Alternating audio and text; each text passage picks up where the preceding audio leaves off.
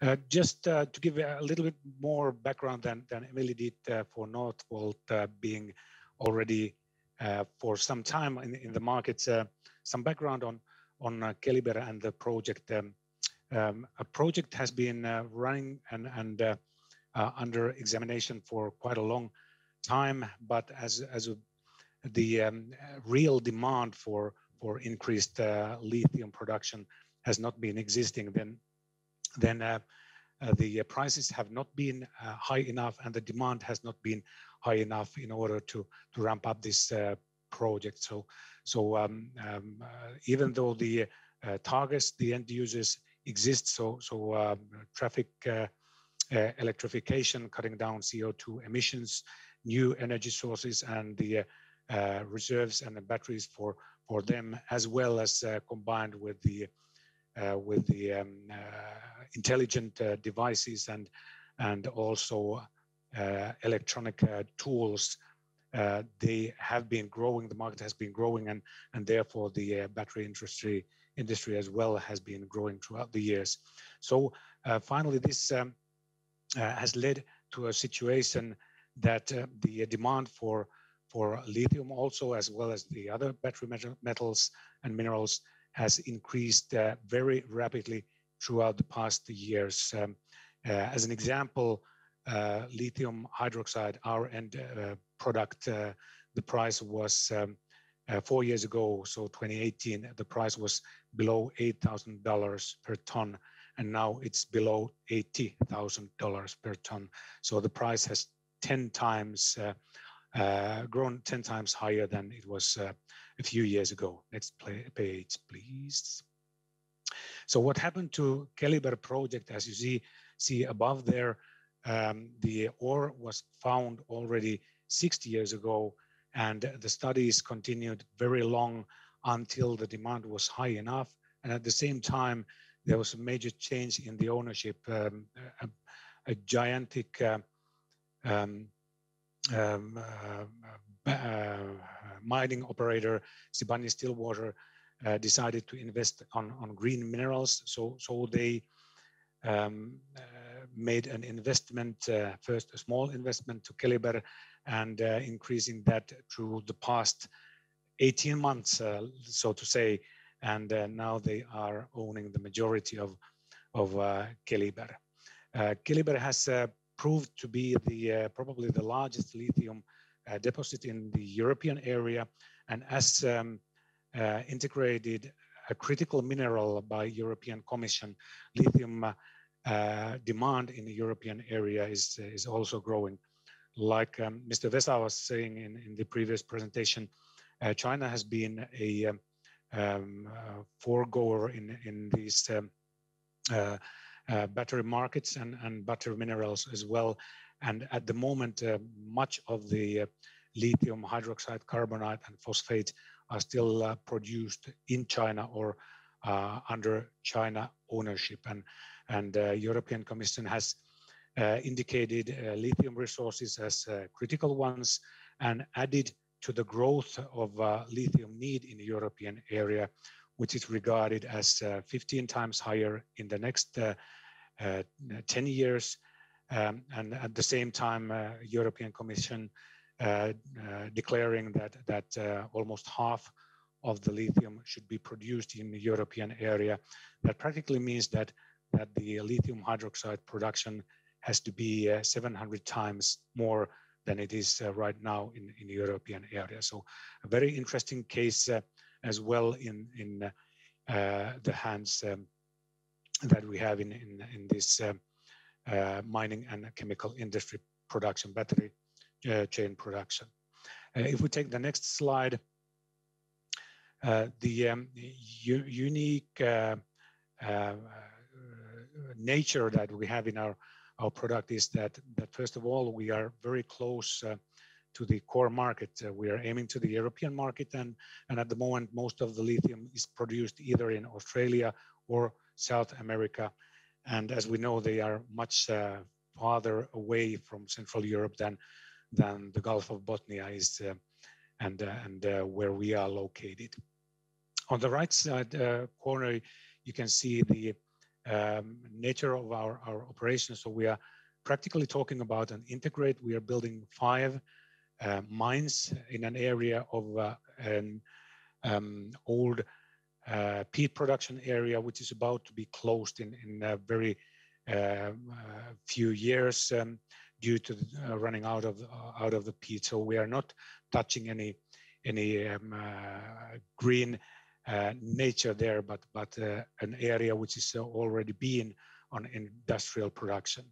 Very close to these mines, um, practically within one to five kilometers, uh, we will have our concentrator plant, the first plant that we are building in the area to uh, take the uh, lithium concentrate from the area and furthermore uh, to, to refine it uh, in our chemical plant, which is uh, to be located in, in Kokkola Industrial Park at the coastline. So um, two days shipping from, from European uh, market and the um, size of the production will be some 15,000 tons of lithium hydroxide per year, which is practically uh, the nowadays demand for lithium hydroxide in the European market.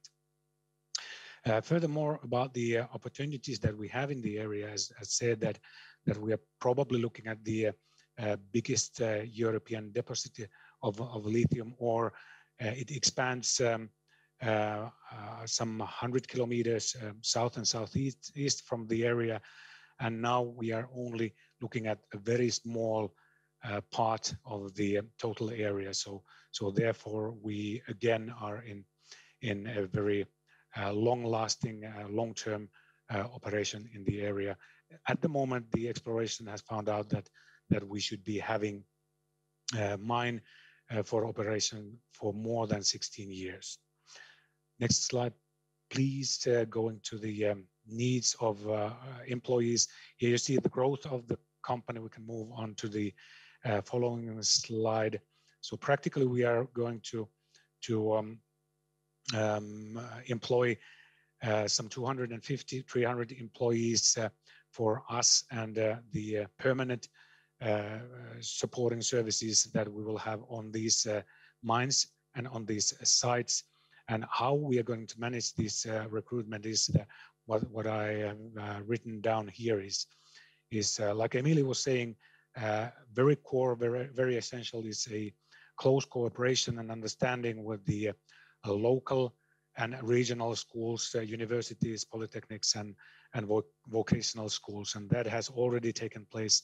Our benefit is that that the um, Kokkola area has a very long background on on chemical production, but also in metals production. So the the um, uh, industry, the kind of industry we are talking here, is very familiar to to the area, and the uh, both uh, for the people, uh, the youngsters in the area, and also for the institutes uh, um, in the area. So so we are not bringing anything new, and um, something that has been bothering me throughout the uh, years is that that um, that um, when talking about battery industry, many times we are separating battery industry uh, in a way that that we are talking about something something unique uh, when building batteries or building industry related to batteries. But but practically, uh, as uh, Emily seemed to be agreeing uh, uh, on on this, that that what what we need the most is the people in the normal industrial operation and normal industrial supportive functions. And now we're talking about uh, uh, chemical and process uh, operators, maintenance technicians, electricity automation technicians, chemis chemists, added naturally when we go to, to mining with geologists. And, and we're talking about a, a platform or of uh, normal industrial uh, uh, vacancies and, and workplaces. Nothing uh, really special to, to batteries. We, we will need very few of uh, those specialists, even if the um, if the amounts would grow. And that, of course, makes it easier to uh, to the um, institutes and, and universities to to integrate to those needs that that we have in place. Uh, what is still needed, uh, of course, uh, is a continuous skills development in the future. That is going to be a challenge because um, the um, uh, competition on both sides of uh, Gulf of Bothnia is, is uh, extremely high on workforce right now, and it's going to be even increasing in the, in the future years. Um, a, a, huge opportunity, what I see here is uh, is the um, possibility for for um, bringing employees and workplaces together in order to to have some kind of uh, career development and uh, personal development involved in their uh, working in, in different uh, companies in the area. What already takes place in in uh, Kokkola Industrial Park, uh, which is quite natural because the the area is is a few square kilometers on the size, but that could be enlarged to to the other um, actors in in um, uh, in the coastline of of the Gulf of Bothnia. So, um, in a nutshell, that's my ideas. A short introduction on on uh, on um, uh, Keliber, the reasons why we exist and and what our challenges or or opportunities are right now regarding uh, workforce and, and employment.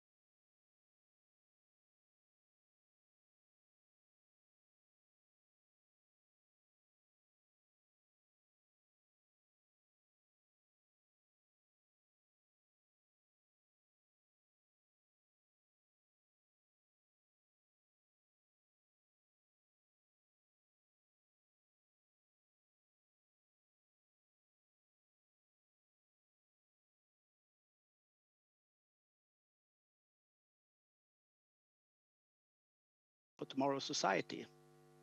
Uh, you don't need to be big to take part in the driving of the future. Uh, often it can be quite easier to be small and quick to adopt changes than to be big. So you have an opportunity to use remote areas and rural areas for driving transition in, in quite many many things actually. What I'm trying to uh, what I'm going to talk about is is how we see our success factors for building the society, the green society, and perhaps how we can uh, contribute as a small part of municipality in this transition. And talk a little bit about different areas what we are working with already and have been working with for some some time and also what we see for need for competences and education. And perhaps from a little bit different angle from more uh, uh, how what competences do we need to build the new society? Not the competences needed to the tech for, for technical doing this stuff but for building the, the the society that we want to build to attract new labors. If we see our assets for being a, part in building the new new green society, we have we have a lot of energy and forest. We are also very good infrastructure with with uh, a logistic node for the for Norrland. But we also have a mountain ski resort and the nature reserve, which is the biggest in Europe.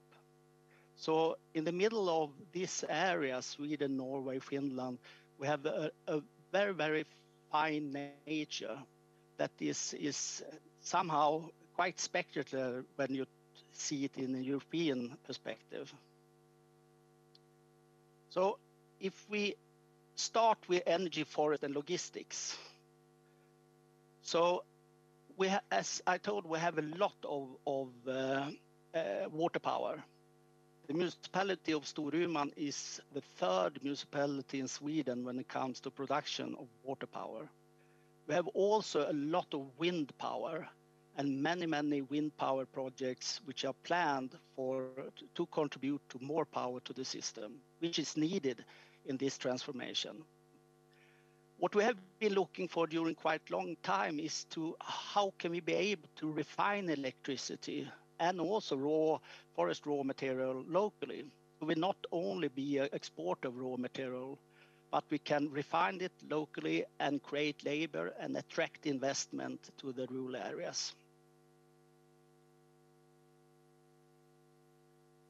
Uh, we have also a very uh, big logistic hub Storuman is one of three logistics hubs in the north of, Sweden. We have Östersund, we have Storuman, and we have Gällivare. Uh, and it's a crossroad with uh, two European roads and a crossroad with two, uh, railways. And today it's transporting a lot of, of wood raw materials. What we have been looking is how can we, with these assets, how can we strengthen our part in the transformation uh, and create something new uh, and, and perhaps take lead in some areas. So we started to, to uh, a sustainable project to look how we can combine hydropower with heavy transports. We have a lot of, of, as I mentioned, projects that are planning new wind power mills, and, and we have this uh, this logistic hub, how can we combine that and, and, uh, and make uh, hydrogen? And how can the hydrogen then make the transportation system green? So we started this a couple of years ago and uh, have been formatting a test region of hydrogen, uh, starting with the green forest value chain from how to, for, from the uh, to, when you cut down the tree and to transport it from the from the forest to to the terminal and then by train to the factories down the coast. Uh, and we have taking the first step already. So we are building a hydrogen gas station. This is under construction and will be finished in 2023. And it's one of two hydrogen sta gas stations in region Västerbotten. One in Storuman and one is in Umeå. And this is one step of electrifying the, the E-tolvan uh, with hydrogen and heavy transports. So during 2023, it will be in place, hydrogen station in Storuman and Umeå. And we have also been part in the Nordic Battery Belt logistics because this is a crucial logistic, I would say, narrow when it comes to, transportation within the battery belt.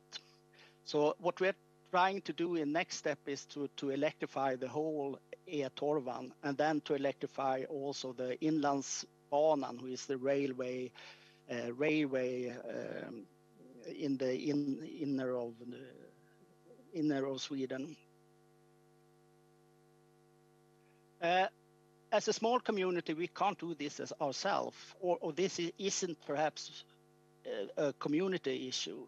But, but for the community, it's essential that the logistics is working.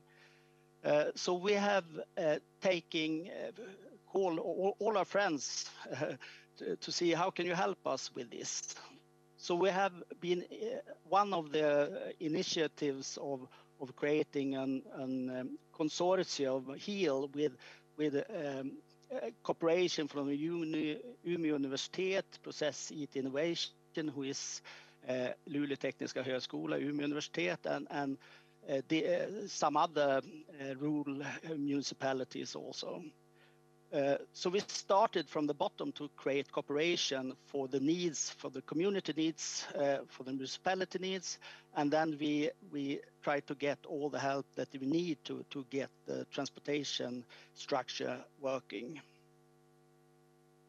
And also, of course, uh, this is driven by the uh, industry.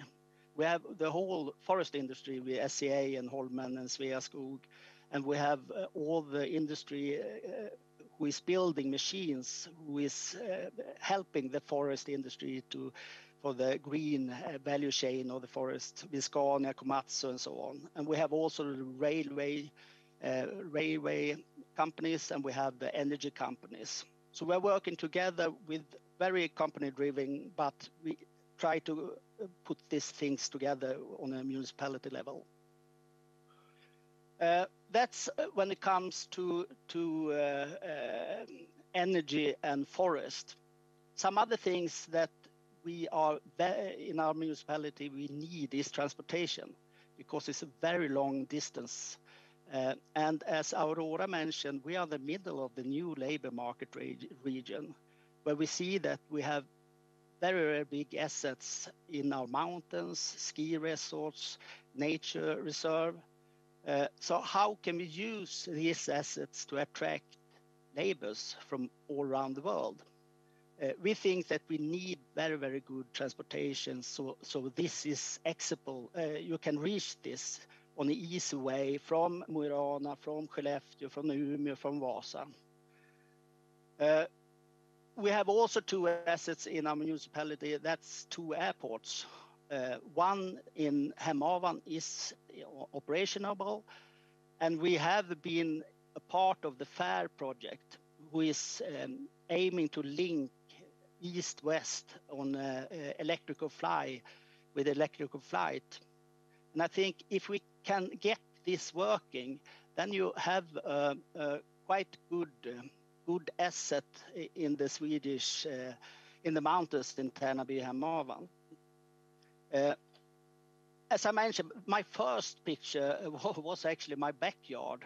Uh, I've been moving back to Storuman and been working in Stockholm. Late uh, two weeks ago, I was living in Sundsvall, partly working in Storuman, but I'm now moved back to Storuman and I'm living in the mountains. But I'm working partly in Stockholm and partly partly uh, in Europe and partly in the municipality and and be able to be uh, to be able to uh, build a flexible uh, labor market, I think that's quite crucial to attract people up in our region. So we are have been focusing quite hard in in in the air, in fly, in how to create the new new flying.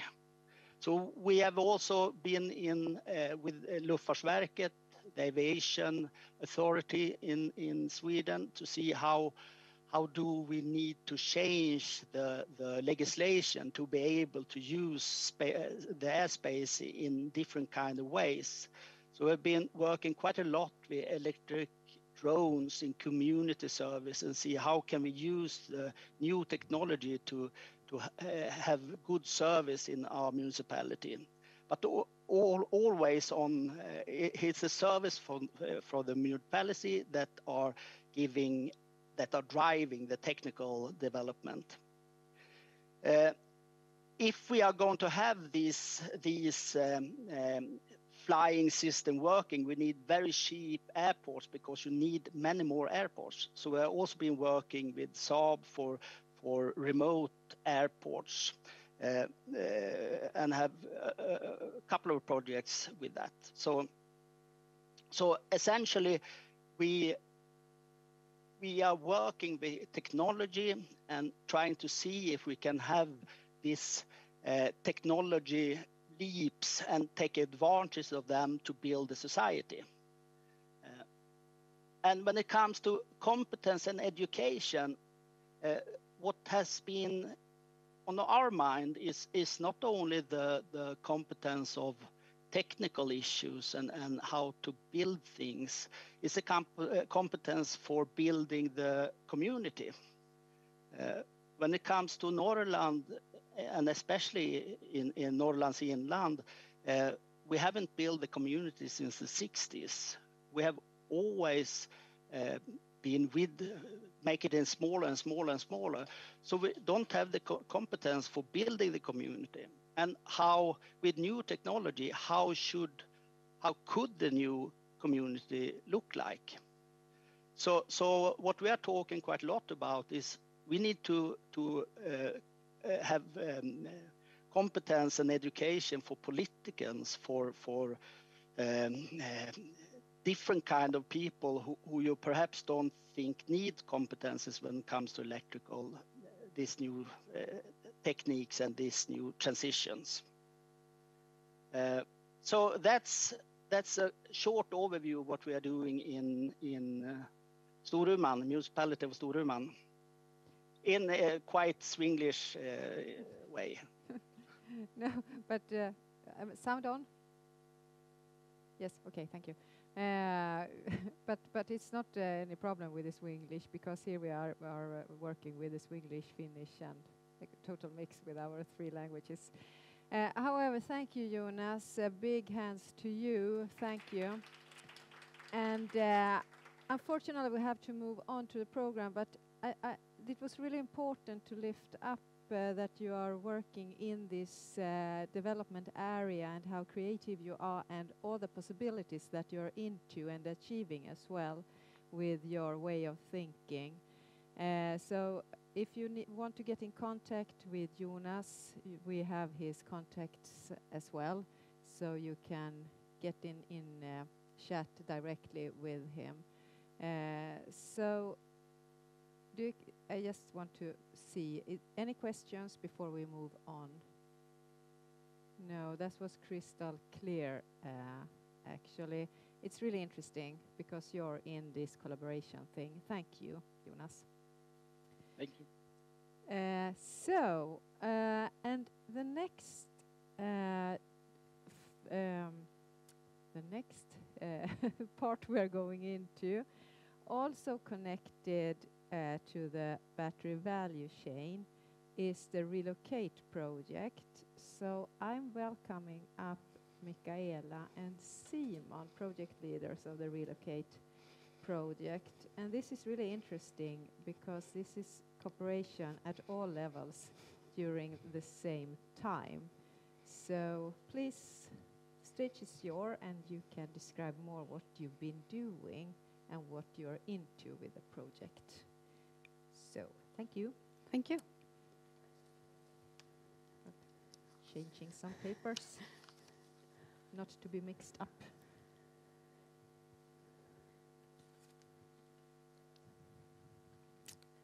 So my name is uh, Mikaela Bondesson, and this is, Simon.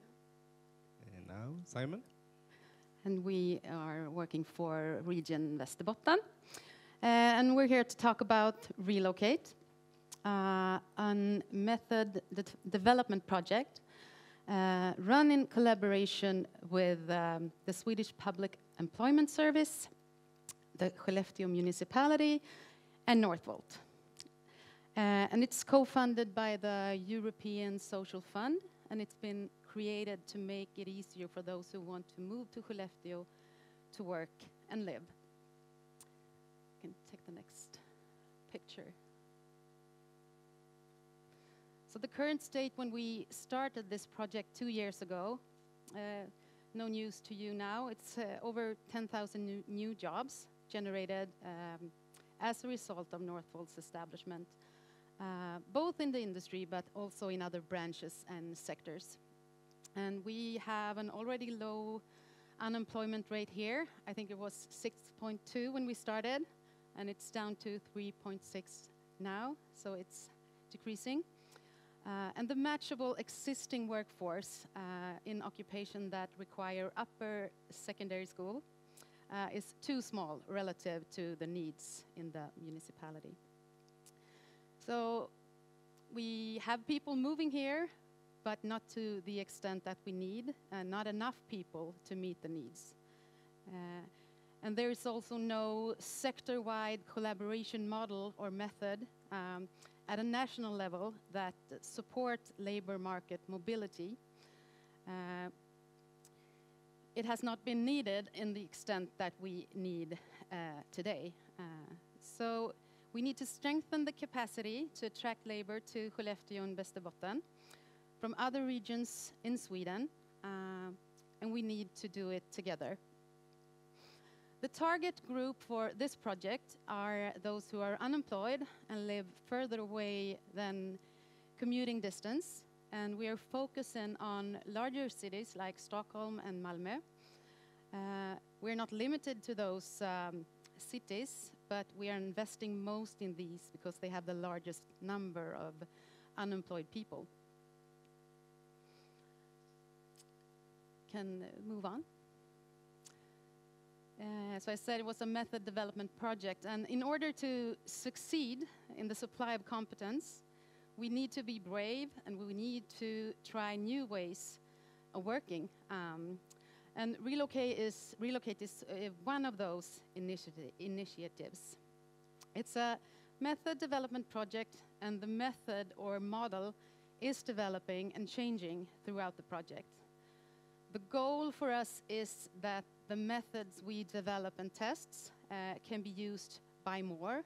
Later on, we hope that we can broaden and uh, uh, direct it to other target groups, both unemployed uh, and people in employment.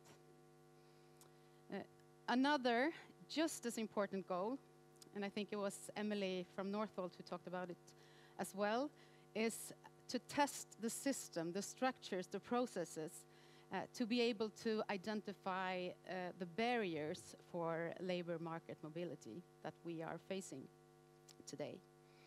But to, to try and summarize the model we are working on today, we try a lot of different methods in three categories attract, identify, and include. And the changes uh, for the Swedish Public Employment Service in recent years, their reformation, no longer means the same contact with the target group in this project, the unemployed people. So within the project, we have been working and spending a lot of time finding other partners uh, to get in touch with the target group. Uh, therefore, labor market units at the targeted municipalities in Stockholm and Malmö, for example, are important partners for us in reaching the target group. The private uh, providers linked to the Swedish Public Employment Service um, are also uh, an important partner, and we also work with different organizations, such, such as the International uh, Women's Association in Malmö. And through these collaborations with municipalities and organizations, um, the opportunity to inform and attract uh, people increases. Regarding identify, um, we want to find people with unused skills. We believe that there are people with skills that are not being used today, um, uh, who wants to work and who could work, but for various reasons haven't gotten the chance. Uh, to address that, we are uh, developing a method for recruiting in a new, innovative way. And it's an inclusive method that, instead of focusing on what is written in a person's CV, focuses on general skills and motivation. And general skills or soft skills is not about what the person is like, but how they can apply their skills in a specific work situation. We also have more traditional recruitment processes, and the overall goal is to match people's skills with the need uh, of employers here in Skellefteå. The include category, that is our participant program, the relocate program. And my colleague, Simon, is going to tell you a little bit more about that. So we can change to the next one. Uh, because an important aspect has been to package an offer uh, for the job seeker uh, to be able to, to make the deci decision if they were going to move to, to. Uh, so this is the relocate program. Uh, I'm going to be focusing on the first two, uh, the, the Inside Skellefteå and the guiding. so the Inside Skellefteå, it's a web course being developed developed for this project. So you can have a job seeker in Stockholm or Malmö or somewhere in Sweden to take this online course in their phone, tablet, or, or computer uh, and get insight about how the opportunities in Skellefteå, how it is to live here, and everything. So they are prepared or it's easier for them to make the decision if they're going to move here or not. Uh, and with this web course, of course, a lot of questions for the job seeker, and not only the job seeker, it's also included for the family or partner uh, that's also going to move maybe. And so they get in contact with the guides within the project, so they can ask questions about the education, the moving part, and of course the housing that's been mentioned before. Uh, and these two together is really important for making this happen for the candidates or job seekers to be able to move and, and make these trans transitions. Uh, but not only it is about the work, uh, as mentioned before, it's also about the spare time, uh, work-life balance, and so on. so, so it's all together for, for making this happen. We heard before lunch from Vux and Tore about the education.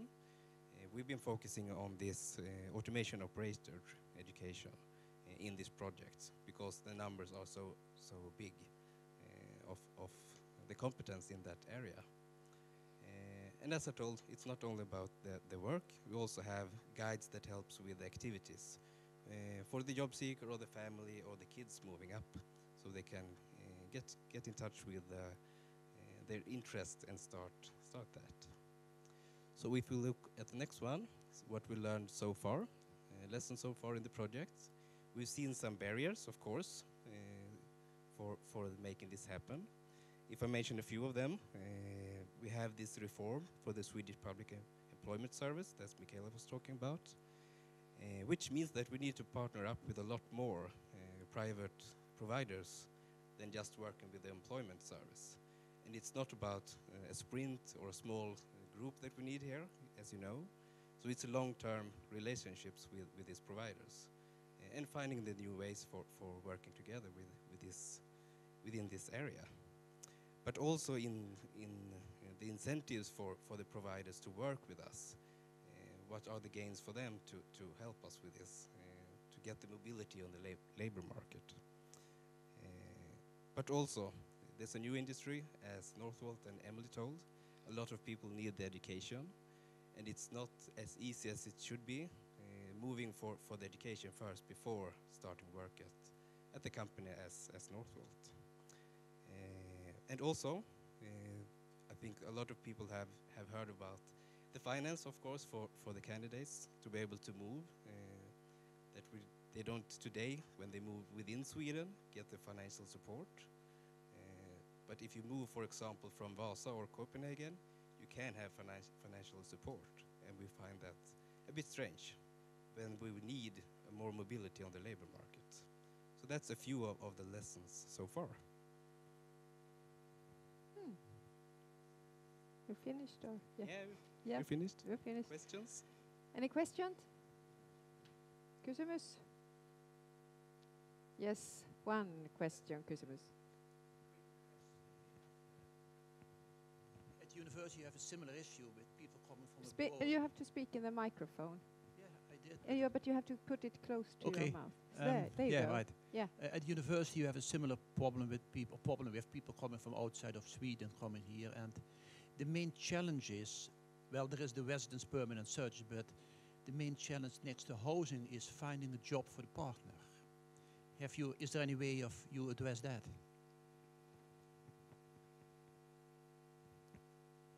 We do. Uh, the, the, the package that we offer, the guiding, uh, we, we reach out to the, the partner as well. Uh, and if the partner is also unemployed, they can be a participant. But if not, we still try to help them.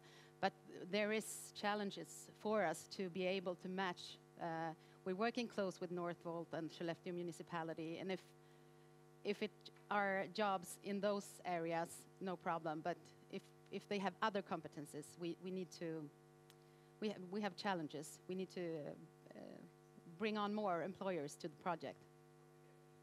Okay. Okay. That's great. Yes. Question, Karin. Uh, well, the housing part. Uh, if you if if your participants don't find any housing in Skellefteå or nearby, what do you do? Do you collaborate with other other cities or something? For example, Piteå.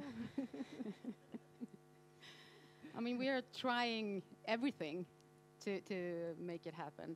And we have two guides uh, that are scanning the market in all of Skellefteå municipality, but also looking to find uh, collaborations outside of it. But Yeah, and it's very common to first move to, to something temporarily, uh, and while they're here, maybe studying, then it's easier to, to look for housing when they're here and can see the areas and, and so on. But absolutely, we could, could work together. Well, thank you. This is a really interesting pioneer project of how to work along the battery value chain, but towards other industries and sectors as well. Big hands for you. Thank you. Uh, all right. Mirja Jalena, Mirja Hetala Jalena Tormalehto och OSAO uh, eh, arbetar tillsammans is now up to the uh, and it w- you- okay not both of you it won't be both of you Uh, okay one is having the photo control here oh. However this is also an interreg nord project with partners from north finland and north sweden and it's also about how to make a common labor marketing area and increase the awareness of opportunity for labor mobility across borders. So this project, uh, I will remember, is ending the next week. So we are very curious to know and get some more insights what has been done in the project. So now we're just working with the headset issue.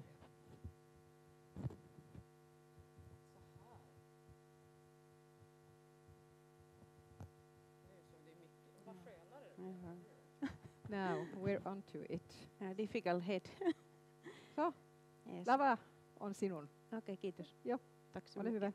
Hej, jag är Mirja från OSAO. Uh, Och jag jobbar som sakkunnig i det här projektet, arbetar tillsammans. Uh, ja, nu, nu ska jag byta till engelska. ja, uh, we have here also Lena Törmälehto, who is the project manager actually in this project, and she is in response of answering the questions today. We have shared this. And uh, as we have heard earlier today many times, cooperating matters. Uh, it is uh, concrete actions, but also an attitude, and attitude is what, what counts. During this project, uh, past two and a half years, we have been cooperating a lot together with our partners and also with our target groups. And in this project, OSAO, which is the, the second largest educational uh, uh, vocational provider in Finland, uh, is a leader partner of this project, and uh, we work together with uh, Oulu University of Applied Sciences, situated in Uleåborg, and uh, vocational college in, Lap, in Tornio, which is called Lappia, and then we have North Calotte Council working with us, and also Luleå University of Technology and Utbildning Nord i Övertorneå. And we all have had our own responses, but we have worked, worked together and supported each other with these working packages. The target group would uh, have been in our project, those have been our own um organization staff and students and also employees, also employees, especially those ones who want to experience something new and are keen to and interested in working abroad, Finland or Sweden. So as you can see, this project has been also a project that both Finland and Sweden are within, as well as Interreg region. And uh, our target groups, uh, beside of students and staff of our own organizations, uh, all are also different kind of organizations levels like uh, like um, business life, both side of the border, and then border counseling, uh, employees services like um, Arbetsförmedling and TE services, and also these business organizations like Business Tornio and Business Oulu, and companies like LKAB and Northvolt, and other EU project, projects like Interreg Battery region. The target and goal of this project has been to promote a common labor market area between Finland and North Finland and North Sweden in this border area. And how? We have uh, tried to increase the awareness of the possibilities to move, study, work, or do business in both sides of the the border.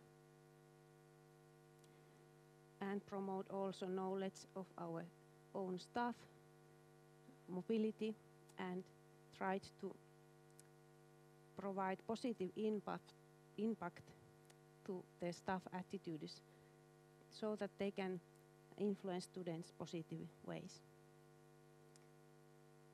And we also has mm, enhanced attitudes against the neighbor languages like Swedish and Finnish. And also tried to increase all kind of awareness and knowledge about work-life culture, language, administrative regulations, with a positive attitude to diminish the mental border obstacles and help people to move across the border and help com- companies to get workforce. As you know, if there is awareness, it uh, diminishes also obstac- obstacles.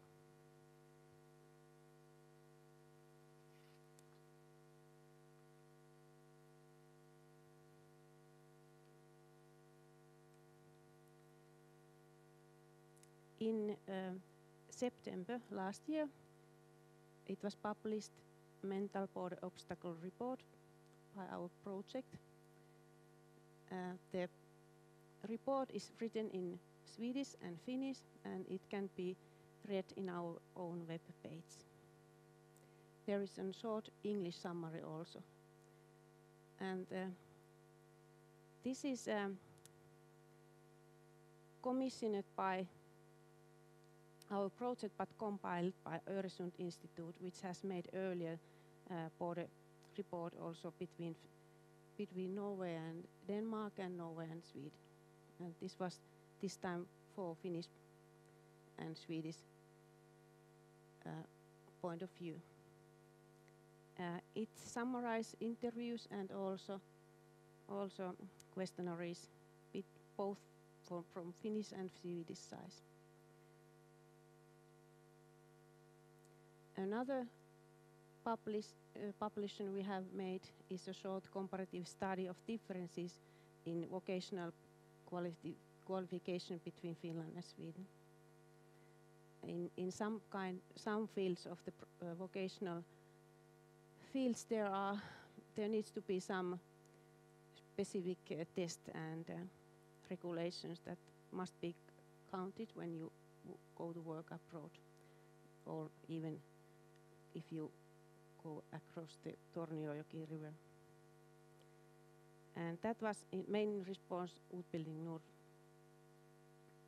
And the ways how we have tried to increase the awareness of all these earlier mentioned issues is has been um, several of infos, seminars and trips.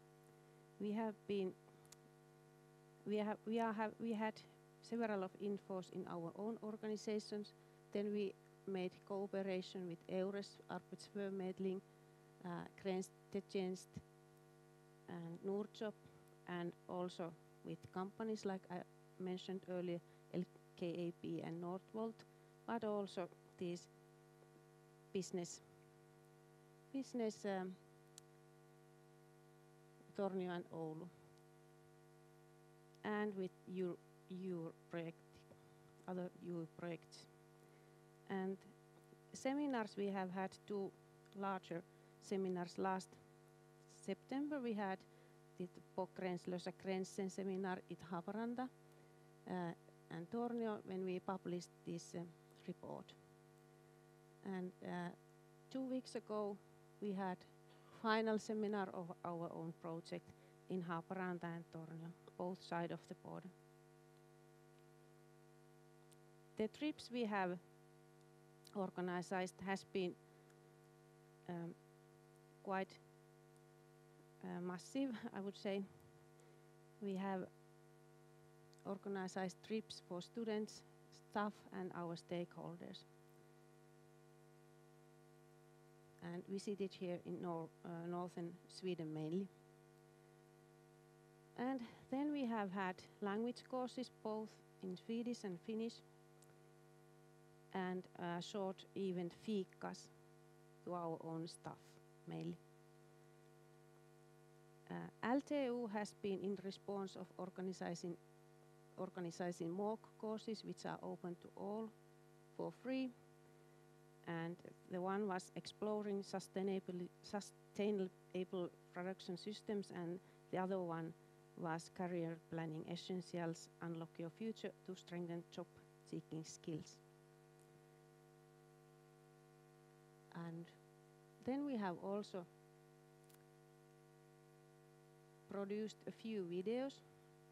Those are real concrete examples of people who have moved the other side of the border, I either work, study, or live. And what is the time? If I have still still some time, yeah. Good. Yes, then I can show you one of one of those videos we have produced. An example of a family, a Finnish family who moved into Kiruna. And uh, through these videos, we hope that uh, people people can see and get some ideas at why shouldn't I to do the same.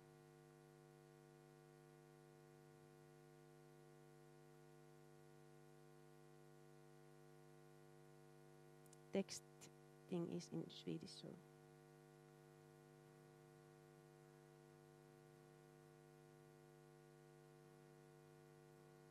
Can you hear?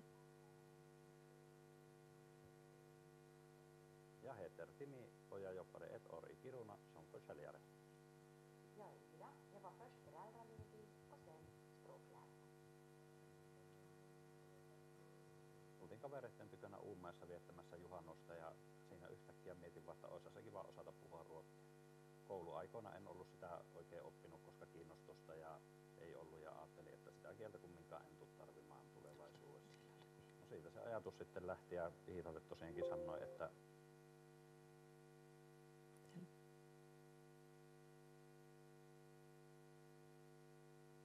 pitäisiköhän meidän muuttaa Ruottiin ja siellä oppisi sitten kielen. Ja Iida nyt katsoi mua vähän pöljänä ja sanoi, että no kyllä se vaan passaa, mutta hommat kanssa sitten työpaikan sieltä. Eli meillä oli silloin parivuotias lapsi ja kummalla kyllä työpaikat Oulussa, vastaremontoitu koti ja me oli raskaana. Niin tämä Timi ajatus tuntui ensin vähän hullulta, mutta ei miltään mahdottomalta ajatukselta. Ja kuitenkin elämä vieraalla paikkakunnalla ilman tukiverkkoja mietitytti, mutta lähin mukaan. No siinä Iida avustuksella alkoi lähetteleen ympäri Ruottia työhakemuksia ja yksi kaksi puhelin soi ja sieltä pyydettiin sitten Kiirunan työhaastattelu. Me lähdin Timin mukaan tulkiksi ja Timi olisi saanut sen työpaikan. Mutta minä sanoin sille Timin työnantajalle, että en muuta, jos en saa synnyttää Suomessa ja jos en saa suomalaista äitiystävää. No, joku kuuli sen toiveen, koska Iidan eessä oli muutaman minuutin päästä se äitiystävä. Ja sen perheen kanssa vietettiin paljon Kiirunassa aikaa ja saatiin kyllä niin paljon uusia ystäviä muitakin. Puolisonkin kannattaa ottaa selvää, kumman maan sosiaaliturvan piiriin, piiriin kuuluu. Mulle tuli yllätyksenä se, että kun lapsi, nuori lapsi oli yhdeksän kuukautta, niin ei enää saanutkaan mistään mitään tukea. Mutta asia ratkesi kuitenkin hyvin, kun minäkin sain sitten Kiirunasta osa-aikaisen työn. Ruotsissa on nämä tuet, äitiyslomat, vanhempainvapaat joustavampia kuin Suomessa. No, työnantajan positiivisuus ja auttamishalu. Työnantaja järjesti meille asunnon ja auttoi päiväkotipaikan saamisessa. Ruotsissa lapsiperhe otettiin hyvin huomioon. Esimerkiksi työpaikalla joustettiin työajoista tarpeen vaatiessa, mutta otettiin heti mukaan työjengiä ja kannustettiin oppiin kieltä. Mulle puhuttiin vaan ruotsia. Minun mielestä elämä oli Ruotsissa lapsiystävällisempää ja lepposampaa. Perheelämän ja työelämän yhdistäminen sujuu myös tosi hyvin. Ja se, että Ruotsissa lapsia kasvatetaan enemmän kehujen ja kannustuksen kautta. Rohkeasti ja ennakkoluulottomasti vaan työhakemuksia tekemään. Kielen opit kyllä varmasti sitten käytännössä, niin oppin minäkin ja uskalsin. Ja lopuksi tähän voisi sanoa pohjoisruottalaisen tyyliin, että det löser sig.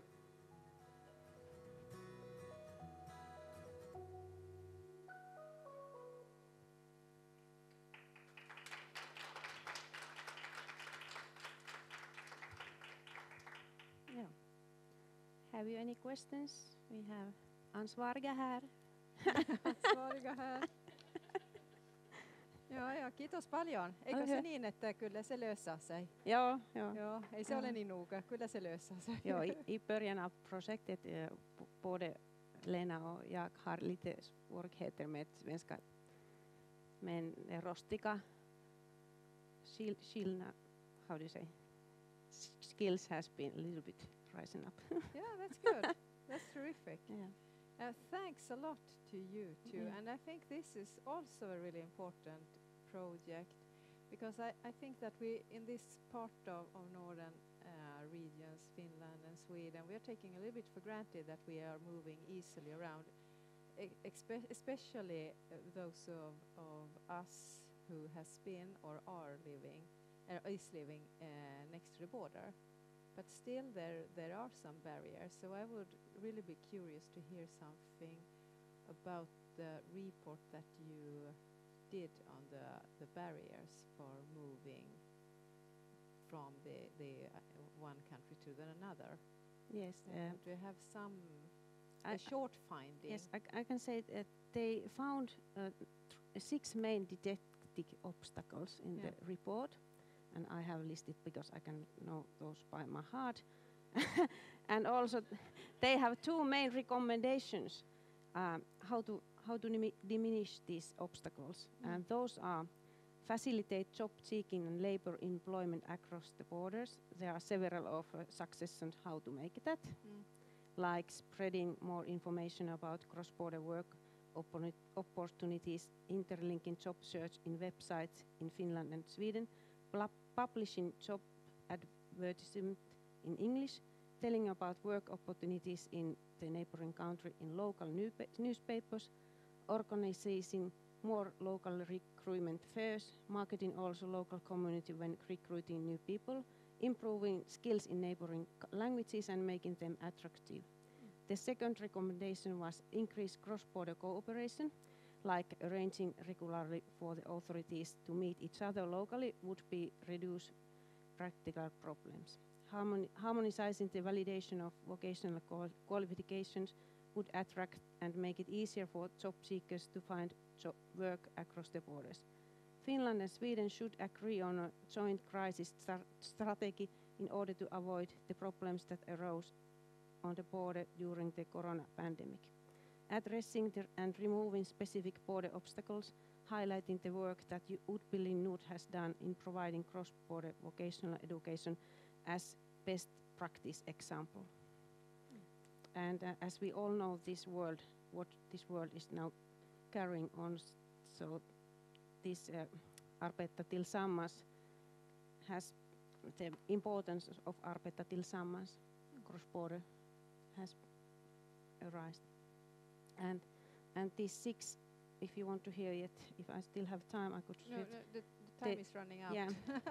I now I begin. that was really interesting. but you can find. Just det.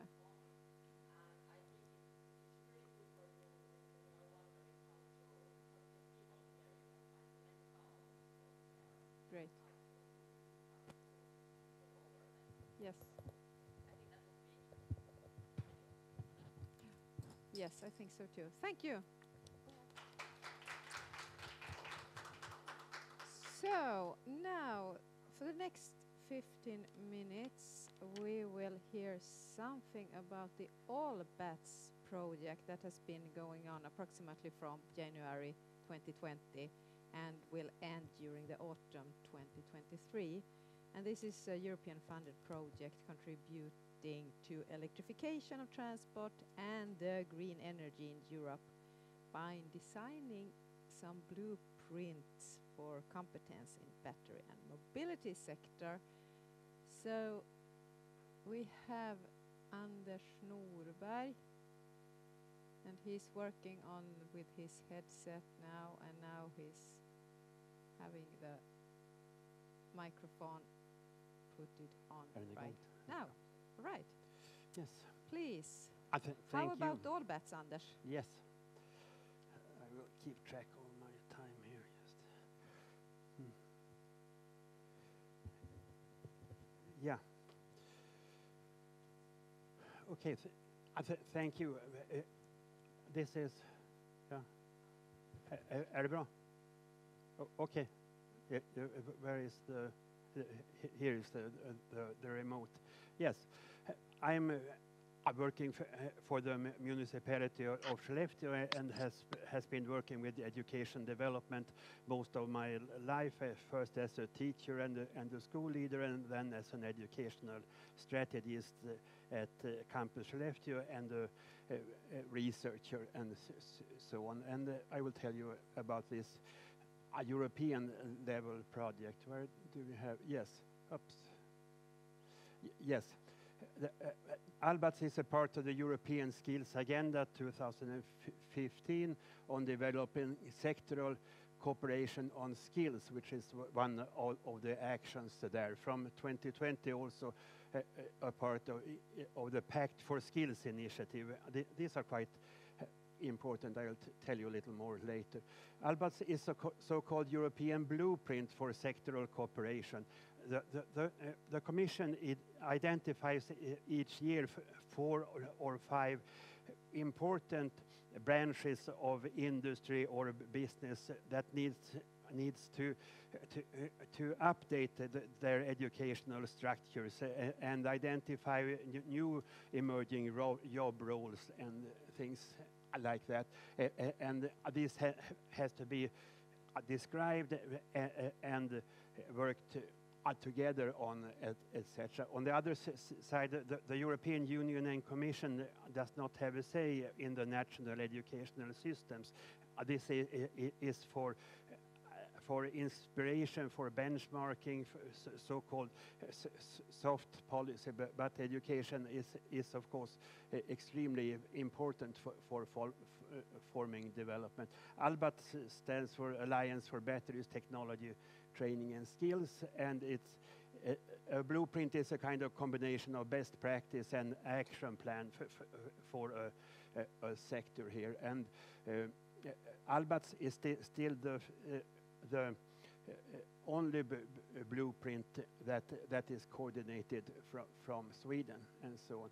And th this is the uh, symbol for the new skills agenda uh, from 2015 and the updated from from 2020, where the so-called Pact for Skills is the big action, and uh, we are a part of that as well now. But I'll tell you more later.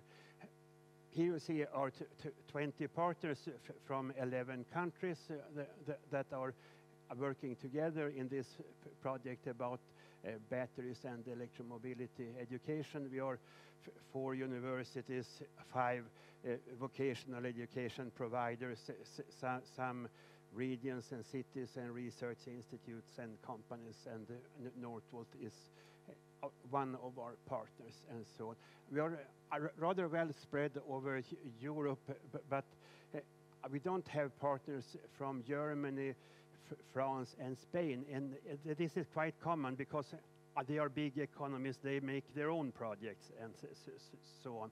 But, but uh, we have networked uh, very well in, in, in Germany and France and have many uh, collaboration contacts there. This is our uh, steering group and, and, so on, and we have a, a rather conventional work package structure. I'll tell you more about that here later in short, uh, there are two big questions we are working with. First, what's really going on? And th this is really important because uh, educational providers as universities and vocational school often design education out of what they already know themselves and uh, what teachers they have and, uh, and so on. But in these projects, it, it, it's, it's the meaning of, of, making very deep studies of how things are working, where they are going, and uh, what's needed. And it's not enough to just ask companies either. They, it has to be a kind of catalyst uh, between in some way. And, and we call that sectoral intelligence. We have three work packages working with that, making a, a, lot, a lot of reports uh, every year here in our four-year project. Uh, well, the, the, second big question is then how can we address the identified education and training needs uh, fr from this, uh, what is going on? And this what, what is going on question, uh, uh, the content of that I will come to. And basically, we, we study in detail the intelligence in stationary and industrial battery applications and in mobile battery applications in work package three, then we draw, draw conclusions and make analysis in the sectoral intelligence work package, and we deliver the, the, that to our training and education section. In reality, uh, we work synchronously and, and together as, as well, and so on. And uh, we, we work, of course, uh, with the whole value chain in both sectoral intelligence and training, but we focus in education and training on, on the, vocational and technician level of, of, education because there are many other European research projects that work with master and PhD education and so on. So we, don't, I don't have to, have to do that.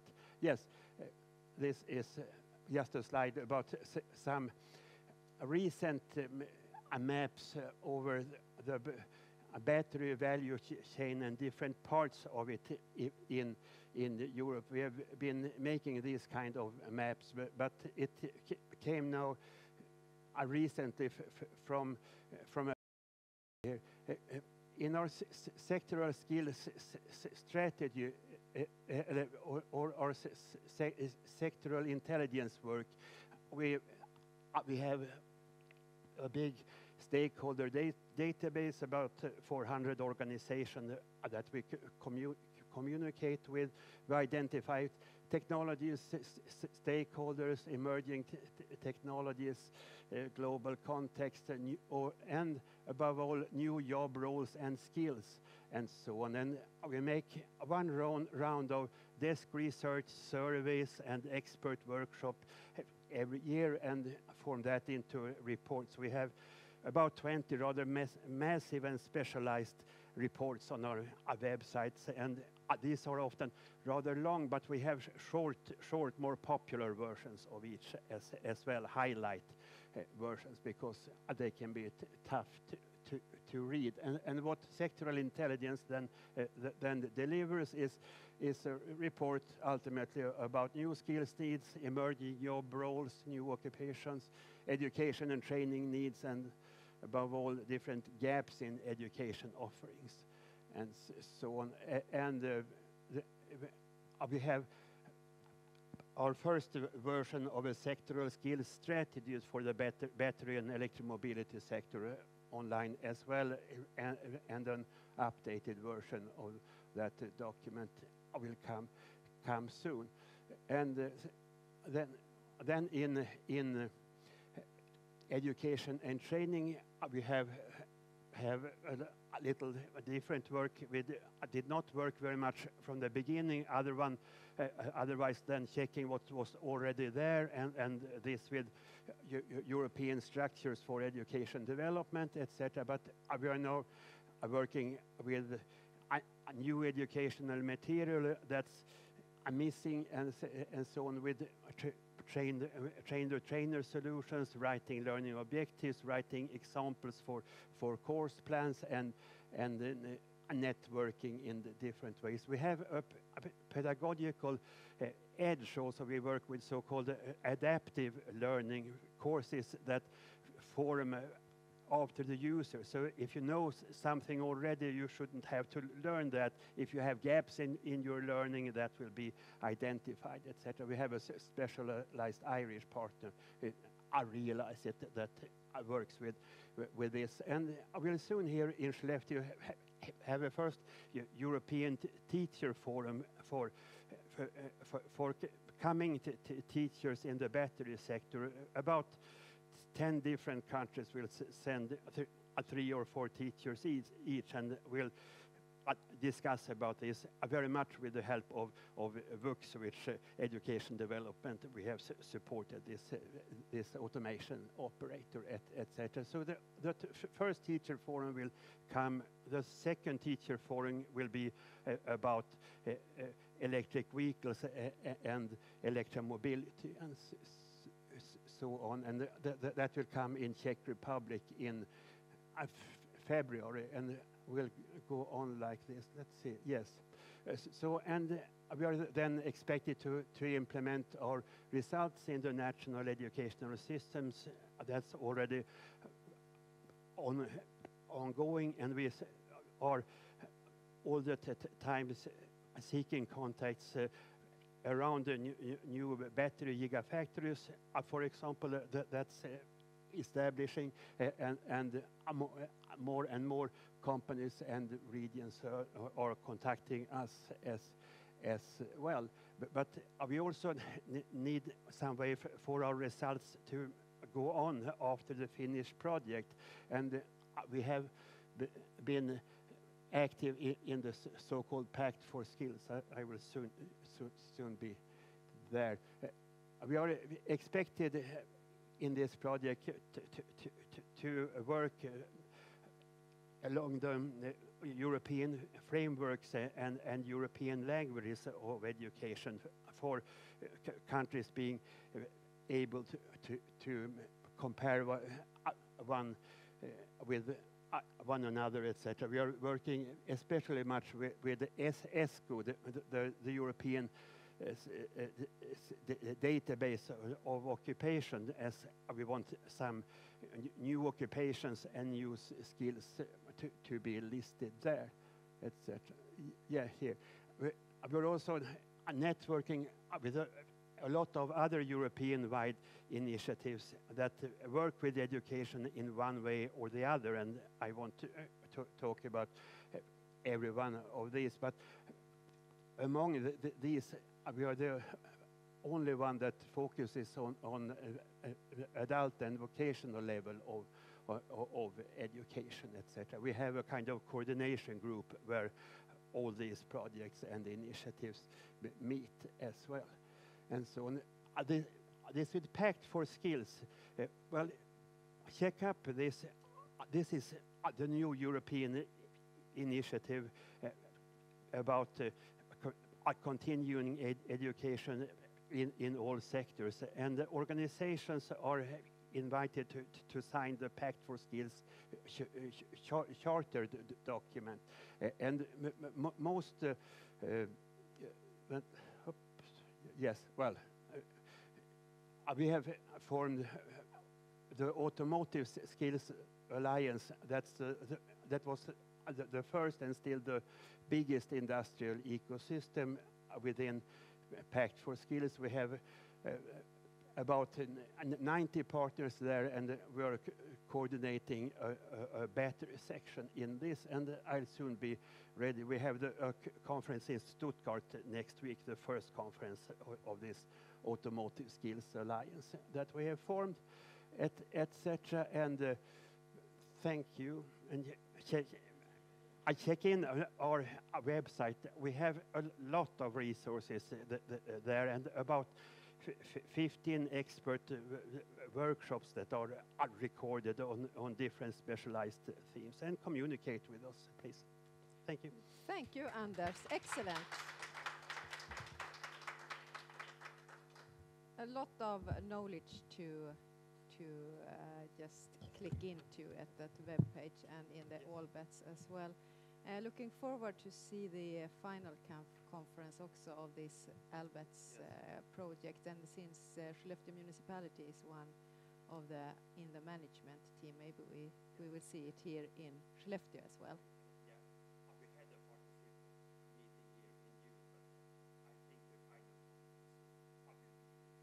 That would be good. So we can connect it to. Yes, okay. Yes, of course. Sorry. So we can connect it also to the the, all the great in, initiatives that we have heard yeah. here today. Yeah. Yes. So thank you. And uh, now we're moving on to the last last thing here, and not not really the last, nearly the last. So I'm welcoming uh, Sanni Pietola, yeah, Simon Dahlberg up to the. Nähä. Jaha, Dahlgren. Did I say wrong name? No, name. Okay, things happens when you're alive. when you're alive, soon I will not be alive, I guess. Sorry. okay, uh, so you've been working with within this Battery Region project, and. Uh, let's see. You're going to, ni ska prata både svenska och finska. Visst var det så? Ja. Mm. Och du vill prata finska? Jag skulle prova finska men det, det, det, det, blev inte så. Då kommer du att få heta fel namn igen tror jag. För att... Ja, okay. Jag ska prova inte slicka för mycket på yes. Varsågod, vill ni ja. köra själv? vi, ja. Eller, du var med. Nej. Ja, jag, kliver, jag kliver av och så får ja, ni gör köra. Det. Gör det. Ja, bra, eh, tack. Ja, vi ska prova att prata både svenska och finska. Och det är, det är bara för att eh, vi vill undvika missförstånd. Visst är det så? Ja, ja det stämmer. Uh, innehållet ska vara ungefär likadant. Eli uh, me yritetään nyt puhua sitten tämä esitys niin ruotsiksi ja suomeksi. No. Ja sisältö suurin piirtein sama. Nu ska vi se. Så. Vart det där rätt? Nej, det är ju fel. Det är fel. Det är fel. Om du vänder på det. Sådär. Så. Eh, det- det är lite jobbigt att hon vet vad jag säger men jag vet inte vad hon säger. det är lite jobbigt. Okej. Eh, vi, vi har skrivit ner några punkter och jag tar det på svenska och du tar det på finska. Och förhoppningsvis så är det samma. Okej. Eh, det vi har sett under arbetet är att utbildningssystemen skiljer sig åt mellan länder. Och det är alltid så mellan olika länder. Och då är det viktigt att synliggöra det tidigt i projektet för annars pratar man om olika saker. Man, man, man, vi måste undvika missförstånd helt enkelt. Eli hankkeen kokemuksia. Ja kuten aikaisemmin tosiaan oli puhetta, niin koulutusjärjestelmät eroaa hieman toisistaan ja näin myös Suomessa ja Ruotsissa. Ja jotta me voitaisiin välttää, välttää tuota väärinkäsityksiä, niin on hyvin tärkeää, että hankkeessa puhutaan nämä asiat ääneen heti alussa. Var det ungefär samma? Okej. Okay. jag, bara, jag bara kollar. eh, sen har vi också sett att på våran nivå, alltså EQF 4, gymnasial nivå i Sverige, då har vi stora möjligheter att samarbeta. Eh, en stor utmaning kan ju vara språket. Eh, så att eh, om man tänker efter den svenska gymnasieskolan eller vuxenutbildningen i Sverige, då kan man ju söka en, en vidareutbildning på, på yrkeshögskolan, både i Sverige och Finland.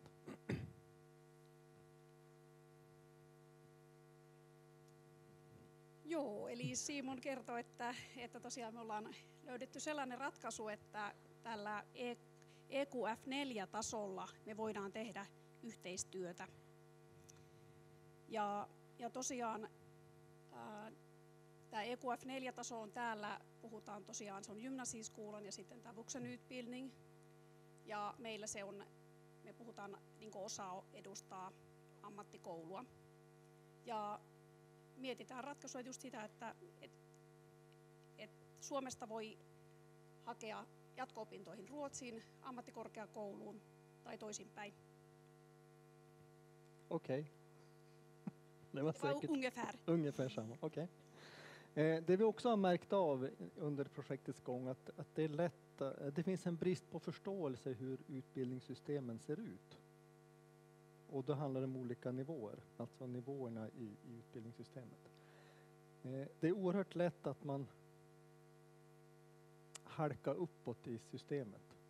Jag måste poängtera att det, hela utbildningssystemet behövs, men det är jättelätt att man halkar uppåt. Så man tror att man behöver en högre utbildningsnivå än vad de arbetsuppgifter som egentligen ska genomföras. Men hela utbildningssystemet behövs och det måste vi komma ihåg. Me ollaan hankkeessa puhuttu näistä koulutusjärjestelmien eroista ja koulutusasteista maissa. Ja tosiaan on tärkeää tiedostaa se, että, että tuota, helposti niin korkeammalla tasolla, jos ajatellaan poliitikkoja ja organisaatioita, niin ajatellaan, että tarvitaan korkeampaa koulutusta, entä sitten oikeasti ne työtehtävät vaatii. Ja esimerkkinä voi kertoa sen, että, että tosiaan alkuun ajateltiin, että, että Northvoltillekin tar, tar, ja vedetään en exempel. Okej. Että Northvoltillekin tar, tarvitaan hirveitä määriä insinöörejä, kun kuitenkin oikeasti tarvitaan niitä työntekijöitä, eli ammattikoulun käy, käyneitä. Du får berätta sen vilket exempel du gav. Northvolt, Okej. att de, äh, jag sa att äh, de tänkte först att de behöver äh, jättemycket ingenjörer. Mm. Man, men det är ju inte så att man behöver ju äh, arbetare som har gått gymnasieskolan eller yrkesskolan i Finland. Eh, vad tar vi med oss av de här, det här projektet då? Ja, eh, det vi tar med oss, eller det jag tar med mig, det är att det är jättebra med erfarenhetsutbyte. Att få träffa andra utbildningsanordnare och från andra länder är oerhört intressant. Så vi har lärt oss en hel del under de samtal som har förts och under de studiebesök som vi har haft. Ni har varit och besökt oss tidigare. Ja, man lär sig alltid något nytt, även om språket är lite jobbigt. Jag håller med dig. Bra. Voin allekirjoittaa sen, mitä Simon sanoi, eli oikeastaan sama, että se mitä me ollaan niin kuin, saatu mukaamme tästä hankkeesta, on se, että on ollut tosi, tosi niin kuin, tärkeää keskustelua hanketoimijoiden kanssa siitä, että ensinnäkin kokemusten vaihtoa koulutuksiin liittyen ää, ja koko kenttään liittyen ää, sekä meidän niin kuin vaikka hankepalavereissa, mutta sitten vierailulla, mikä me tänne tehtiin viime keväänä. Tosiaan ollaan opittu toisistamme ja ehkä vähän, vähän kielestäkin, vaikka se on vaikea. Jag kan bara hålla med.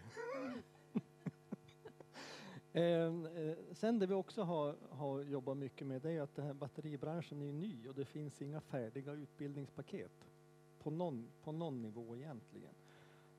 och det vi har jobbat med är att ta fram utbildningar på gymnasial nivå och på yrkeshögskolenivå.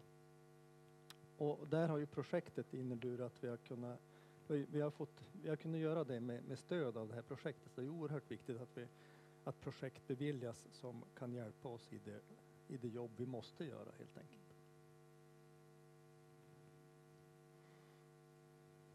Joo, nyt täytyy ihan miettiä, että mitä, mitä tässä puhuttiin. Eli se, että akkuteollisuus on uusi teollisuuden ala ja mitään valmiita koulutus, koulutuspaketteja ei ole ollut. Ja on ollut tosi tärkeää, että nyt tämän niin kuin hankkeen aikana on pystytty lähteä kehittämään sitä koulutusta. Ja se on sama sekä Ruotsissa että meillä Suomessa osalla. Då har vi en fråga, vad blir nästa steg? Det är du som har skrivit frågorna va? Visst var det så? Mm. Mm. Du får sitta där alldeles tyst. Eh, vad blir nästa steg? Nej, men för oss, eh, vi har ju gått från att, eh, att eh, göra två, två olika, eller två, tre olika utbildningar på gymnasial nivå. Och det vi nu gör är att vi ger dem på engelska. Alltså vi, vi har ju, vuxenutbildning har väl aldrig gjort yrkesutbildningar på engelska förut. Men vi har två utbildningar nu som till största delen går på engelska och det är för att det är där vi har målgruppen just nu. Så vi hoppas kunna ge fler utbildningar på engelska för att kunna bli mer internationell. Och då menar jag också att fin Finland kan komma in i den, i den bilden. No niin, mä yritän tiivistää lyhyesti. Eli tuota, mitä me, mikä on seuraava askel, niin, niin yritetään tosiaan antaa enemmän englanninkielisiä koulutuksia tälläkin hetkellä. Shellefteossa menee englanninkielisiä koulutuksia. Mä voin sanoa samaan, samaan tuota osan puolelta, eli toivotaan, että meilläkin saadaan englanninkielisiä koulutuksia ja pystytään sen kauttakin tekemään lisää yhteistyötä. Är det så? Ja. ja det är så. Jag eh, hoppades att vi ska göra mer samarbete Samarbeten, i framtiden. Precis, mm. precis. Och då har vi en sista sak som vi, vi från Skellefteå eh, vill lägga in. Det är att vi vill ju marknadsföra våra utbildningar i Finland. Och öppna upp dem för, för Finland och kunna rekrytera elever därifrån. Och det tror jag kommer vara till stor nytta även för Finland. För de kan jobba ett tag i Sverige, sen fara tillbaka till Finland och hjälpa till att bygga upp branschen där också. Så det vill vi göra. Simon haluaa markkinoida Skellefteon koulutuksia Suomeen opiskelijoille ja toivoo, että suomalaiset opiskelijat tulevat tänne opiskelemaan ja ehkä tekemään töitäkin ja muuttavat sitten takaisin sen tietotaidon kanssa Suomeen. Och då har vi ett letter of intent. Visst Men vänta, vi, vi har det okay. också. Kiitos paljon mm. Simon ja Sanni. Sanni ja Simon. It, it is like a good couple. or a good, good, just a good couple, not a bad, bad one, bad a good couple. one. yeah, that, that, yeah, that might be me. Uh, excellent, and it worked very well with uh, the languages as well.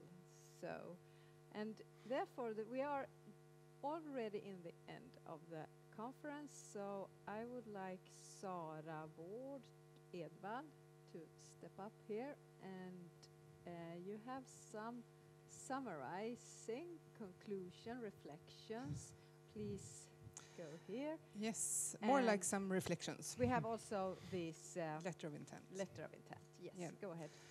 So we've heard uh, Jarko and Christian from the national level and a lot of stakeholders from various organizations and levels. And I honestly think this conference would have been more fun if we would disagree. My opinion is that we do agree about a lot of things.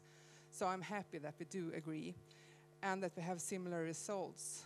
So if we are many voices saying the same thing, I think that is a strength and that will take us accelerate the development. So I would like to thank everyone for coming today. And we're going to sign this letter of intent. And the information in the letter of intent you can find on our webpage. So this paper has been going across the border a couple of times. It's going to go back. So Simon, please come and sign.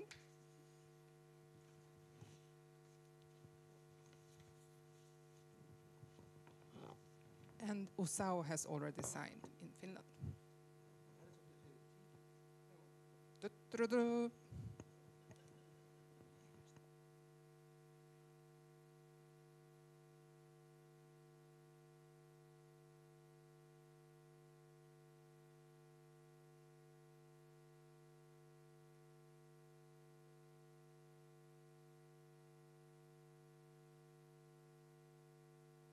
Signing is going on, I would like to thank Aurora for being our moderator for today and doing a great job.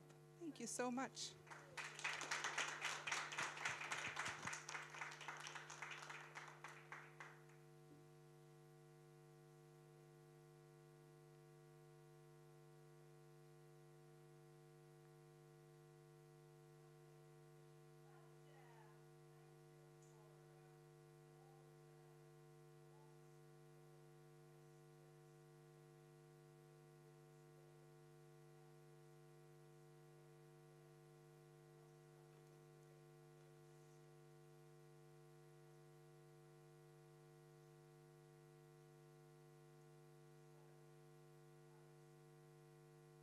Am I?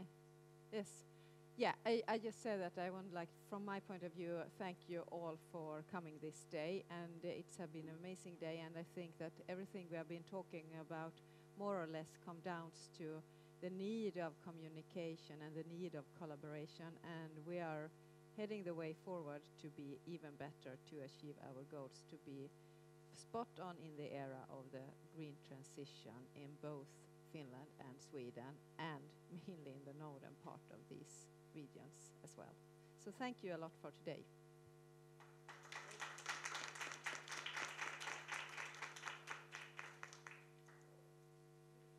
Ja, yes, now it's nu är det fika.